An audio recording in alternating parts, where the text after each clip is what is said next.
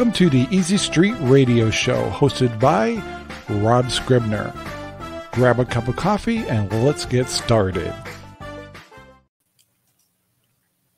Hello, everybody. This is Ranger Rob, and this is Easy Street. Welcome to the show. I also want to remind you you can find Easy Street on Spreaker, on several other platforms, uh, also on Good Talk Radio, and now being featured. Actually, we're live on Cutting Edge TV. So uh, get the opportunity, just go down to our description below, and you'll see actually uh, all the different platforms that we're on. And today is uh, kind of a special show I wanted to do for Easy Street that helps me. Um, well, on the last video I did for Ranger Rob Country Living, I asked the question if you're a prepper and you spend a lot of time, a lot of effort, a lot of uh, uh, preparations, cost for equipment, etc., for prepping, and it's just say you and your your family or you and your wife, uh, do you? I had to laugh. I have a German Shepherd outside the studio saying, "Please let me in." Anyway, uh, do you prep for? Let's say something happens do you prep for family outside of your household or friends or your neighbors or maybe just someone in need, especially if an event already happened. And I want to say hello to uh, Farmstead Smith and also Thomas Hamilton from Scotland. That's a long ways. So nice to have you. Um, you can count on us to treat you really good here, Thomas. so uh, I, I have no idea what time it is over there in Scotland, but uh, it's got to be kind of late. So anyway, uh, in prepping, uh, Sherry and I have uh, worked really hard in prepping for uh, at least six months, and we're talking about uh, very large pantries worth of food. We took the time to learn how to do canning. We've learned how to do dry canning, and we've also just purchased um, up to four thousand dollars for this, a freeze dryer. And so, you know, we put a lot of um, investment into prepping. We're talking probably thousands of dollars. Now, when I talk about prepping, I also, oh, nine o'clock, when we're talking about prepping, um, everybody does it at a different level. Now, I'm not talking about building a bunker in the backyard or anything.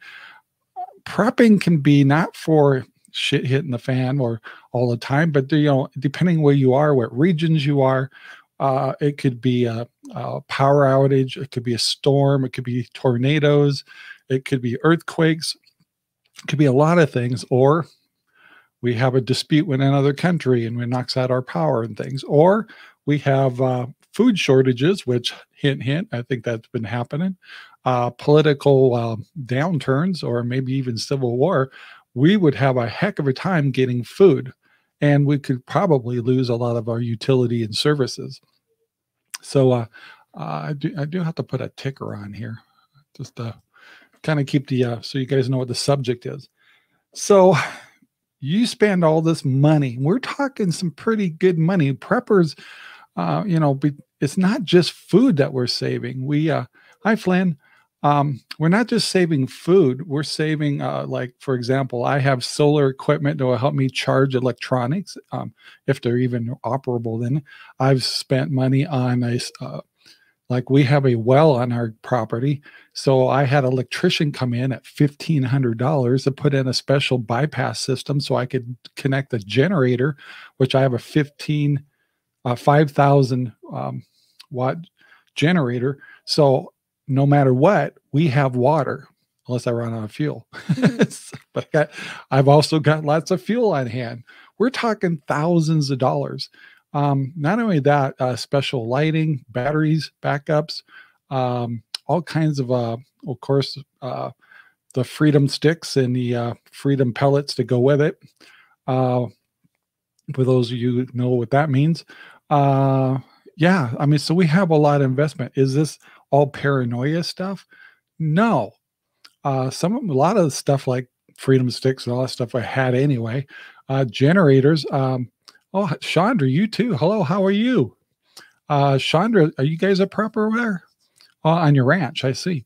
So we uh, we have thousands of dollars of food backup. We uh, have dried food. We have a lot of food you can buy that can actually last on the shelf for a long period of time.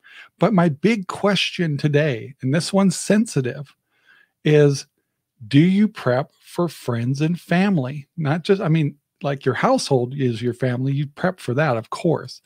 But what about, say, your kids might live nearby, but they don't bother the prep, yet they know their mom and dad are preppers.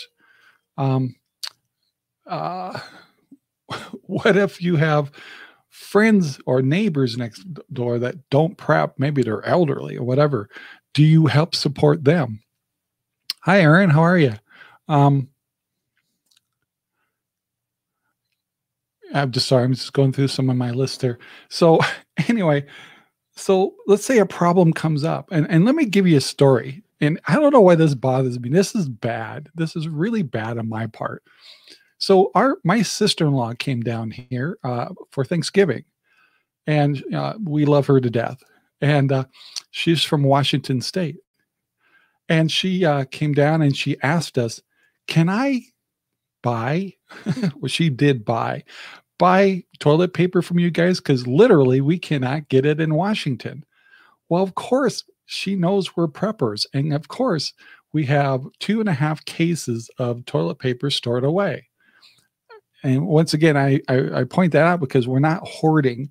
We only buy enough. We always kind of double up on things, but we don't do it all at once. Just like for canning jars, I've got tons of canning jars now. How did I do it? Well, we bought a little at a time at different places when they had them in stock. Did we hoard them? No.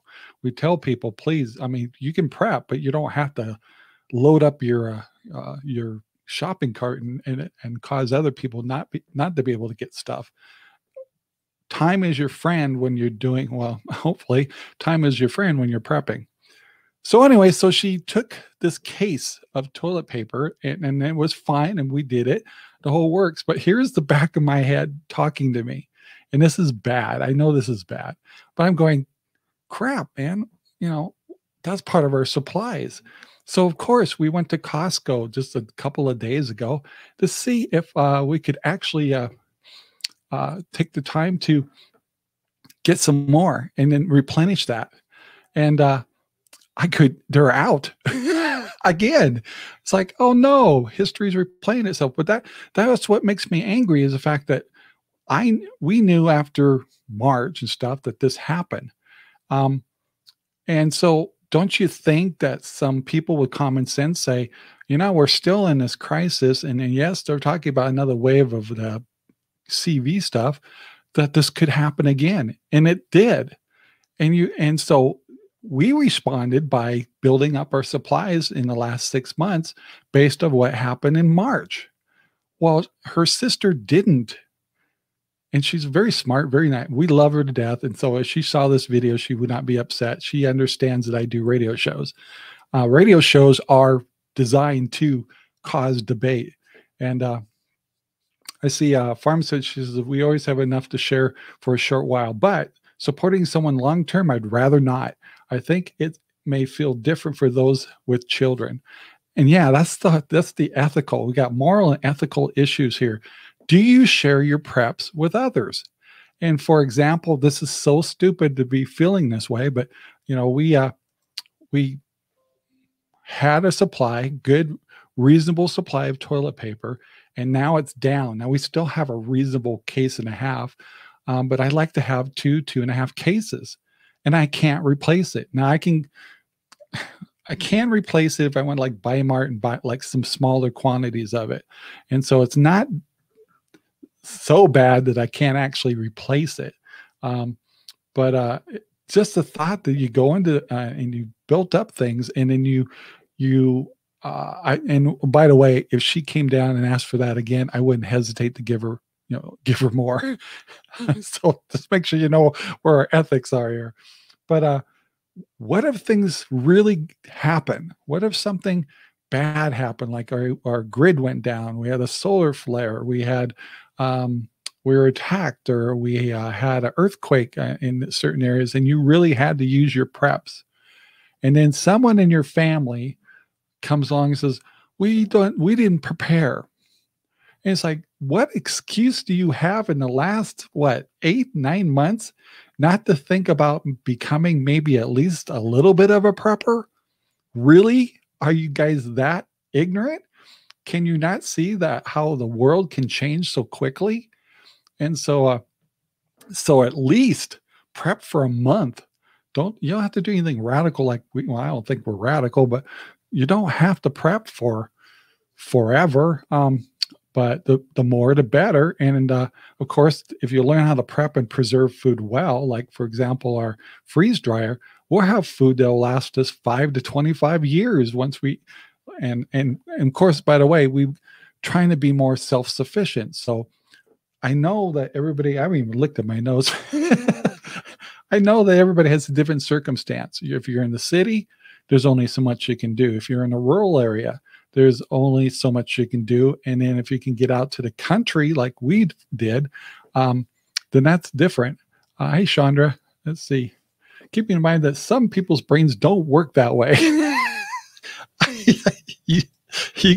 yes, uh, Chandra, by the way, is on. She said, he said, she's a sweetheart. She, uh, uh, we love her to death. So think, uh, and I'd like to talk to you more, Chandra, in the future about your ranch and uh, what you're doing with that ranch. Uh, I've heard you mention it a few times, and I've never followed up on that. And I apologize. And I want to remind everybody tomorrow on RV Talk Radio, I'm interviewing a guy from Montana, and he calls himself the RV Prepper. And uh, that shows tomorrow at 10 a.m. in the morning. That's Pacific time. So, uh, um, one of the main questions asked is if you prep, what's your target? Are you trying to prep for a month, maybe three months? Two months, I hear, is pretty good. Um, and uh, my green screen's being weird today. And uh, uh, squirrel, are you prepping for six months or a year? Uh, are you getting so radical that you're putting a bomb shelter in your backyard? I don't think a lot of us are doing that. And, uh, uh, how do we help people? So you know, it, the, the whole controversy here is do we help others? And it's like, I guess like prepping, it's it's a, take a little bit at a time. But uh, if you're going to be a prepper and your family knows you're a prepper, and of course, if I'm doing shows like this, I'm a prepper. I'll probably have half of Central Oregon coming over here for if shit hit the fan. But uh, do you try to educate them and say, you know, you really should have at least a month's worth of some supplies because if you're relying on me, I'm gonna I got to make some tough decisions. I may have to say no. Uh, I, you know, I'm even thinking, uh, for example, I uh, hopefully maybe mail services still work. And let's say uh, I got these crazy 10 chickens, uh, all females, they're going to ready to just in, uh, terrorize us with eggs and eggs and eggs and eggs. And uh, that'll be great at first. And then pretty soon we go, we're going to have dozens and dozens of eggs in our refrigerator. What are we going to do? Well, that's why we bought the freeze dryer. Uh, if you ever seen those, we got a medium size. Every rack in there can hold 18 eggs, and you run them through the cycle, and then they turn into like a giant brick. Um, it, well, you have to uh, mix them all up like you're doing scrambled eggs first, and they dry out like brittle, peanut brittle, and then you just put them into a blender and turn it to powder. And uh, you can put 18 eggs in one sh- uh, uh, one shelf, and then you pour that into a um, into a jar, and you can vacuum seal it, and you got fresh egg forever, and they will taste and act like regular eggs. Like you want one egg, you just do one tablespoon, put put in a, a cup, want two eggs, two two tablespoons, add uh, the same amount of water to it, blend it together, and it's just like their original eggs, and uh, nice fresh eggs.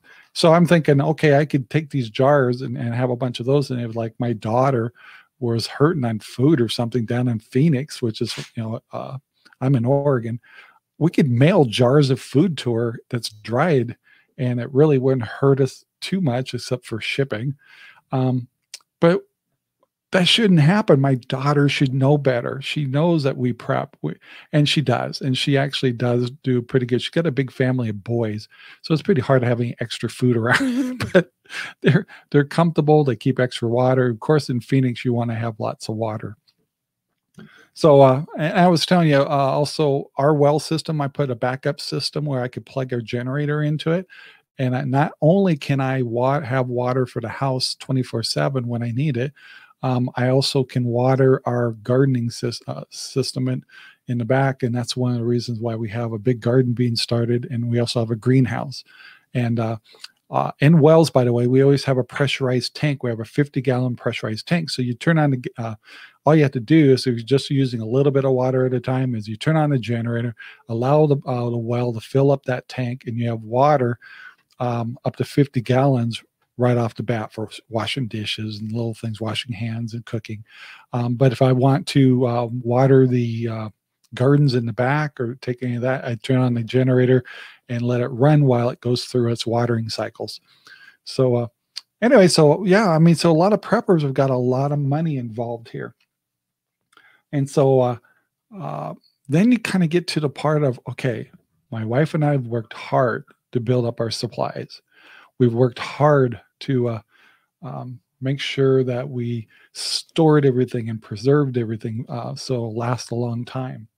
So then the big question is, uh, let's say uh, my great best friend uh, so far from Farmstead Smith uh, comes over and says, "We don't have any food, and I know you're a prepper, Rob. Can we bargain, maybe trade with you?" Well, trading probably, eh, yeah, we could probably do that, but uh, you know, she's the sweetheart. She's your best friend in the world. Is like, do you feed them? Because if you give away food that can't be replaced, it's gone. So, uh, you know, uh, and I'm just I'm gonna, I'm using a friend's name because you come against that moral and ethical issue. Do you help others or do you help yourself? Do you just protect your family or protect others? Are is your heart uh, so open that you'll help everybody you can, but at the same time you're sacrificing your own family? Where do you draw the line? Or do you?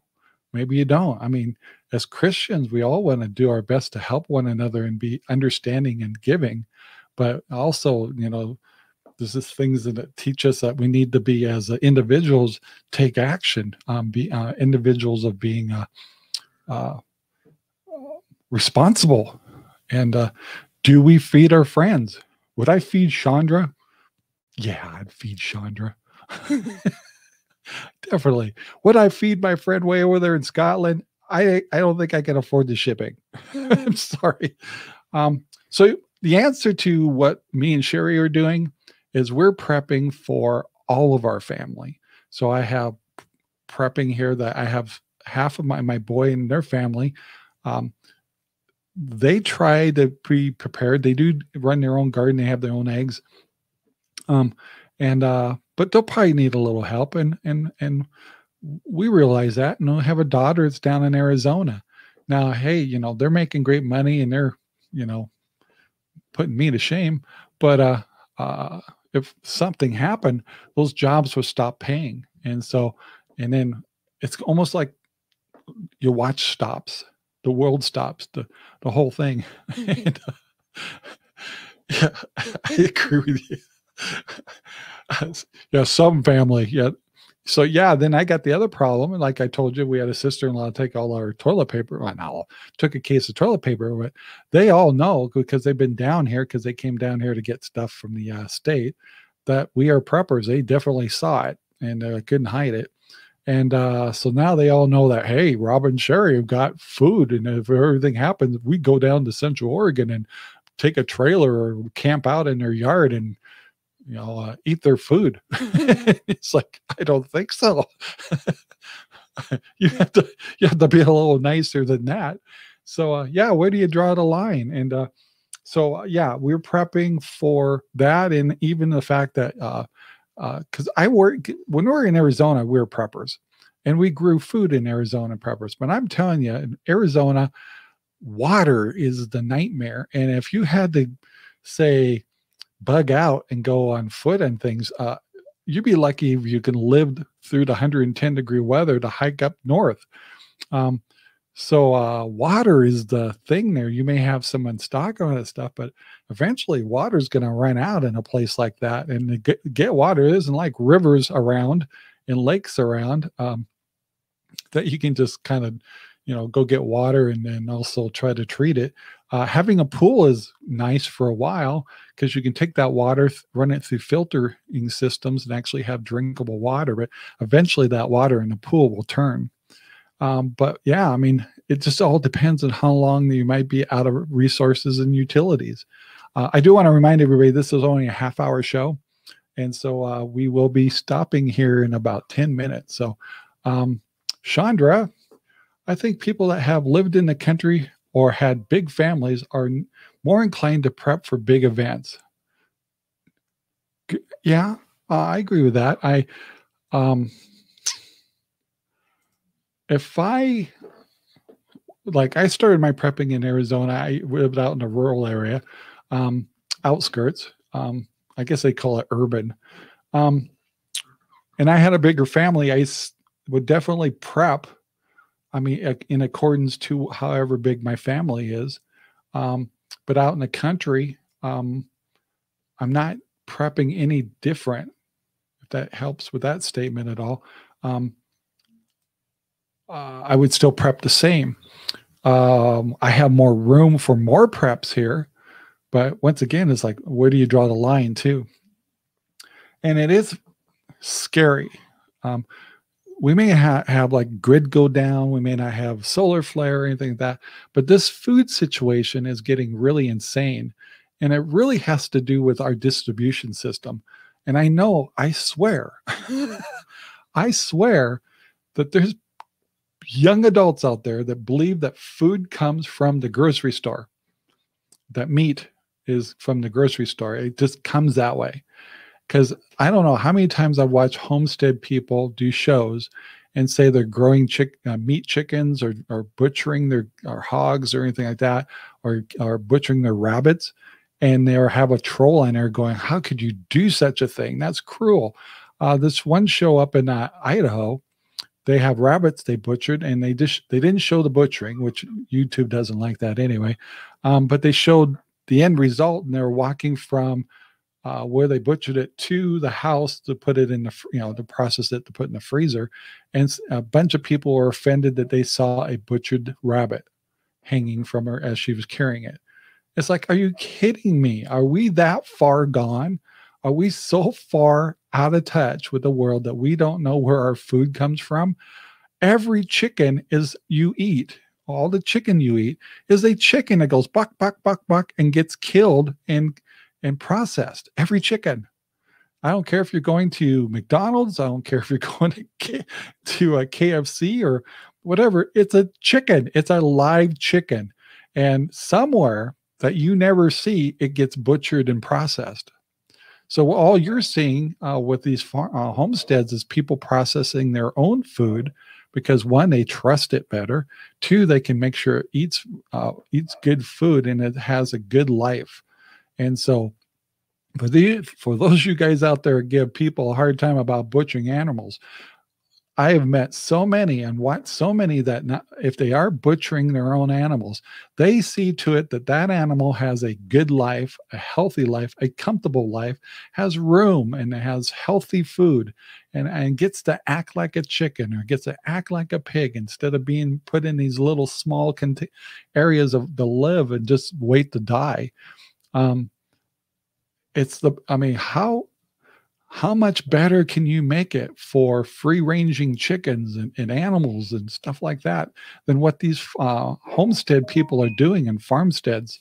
Um, they're doing wonderful things, keeping in mind the quality of life for the animals that they are going to eat. And uh, that's important, in, including dairy processing these cows and, and taking care of them properly and letting them have a normal life as opposed to these crazy dairy farms. So the next time you start thinking about somebody being cruel and mean um, to uh, animals because they're butchering them, uh, we're all doing it. We all do it. And uh, so uh, I got to laugh. I got two dogs that have just, please let us in. We want to terrorize you in the in the studio today and uh, they're being brats. So once again, I, I, I, and I love to hear. I know people will catch the show afterwards. I want to thank everybody that left comments. I actually wasn't expecting any visitors. Um, and I am so grateful always.